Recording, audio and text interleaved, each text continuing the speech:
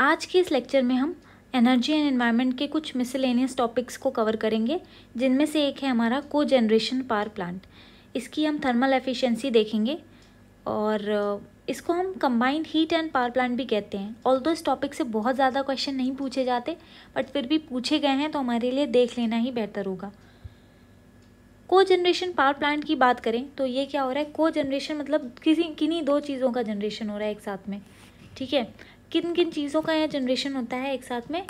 एक तो हमारी पावर का जनरेशन होता है, यानी कि इलेक्ट्रिसिटी का प्लस हीट एनर्जी का भी प्रोडक्शन होता है। इसीलिए हम इसको को जनरेशन पावर प्लांट कहते हैं। थर्मल एफिशिएंसी इसको निकालने का फॉर्मूला क्या है? Output energy upon input energy into hundred simple सा फॉर्मूला है इसका।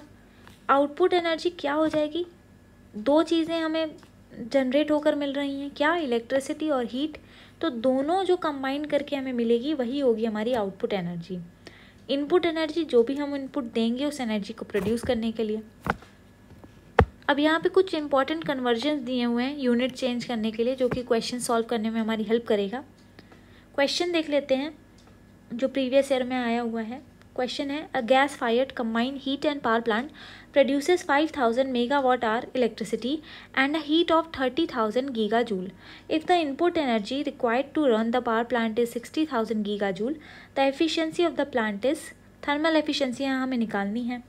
इनपुट एनर्जी हमें दी हुई है sixty thousand giga joule heat कितनी जनरेट हो रही है? थर्टी थाउज़ेंड गीगा जूल और इलेक्ट्रिसिटी हमारी five thousand mega what hour अब इसमें करना कुछ नहीं है, बस सिंपल यहाँ पे यूनिट्स का खेल है। यूनिट्स में हमें कन्वर्ट कर कन्वर्जन करना होगा।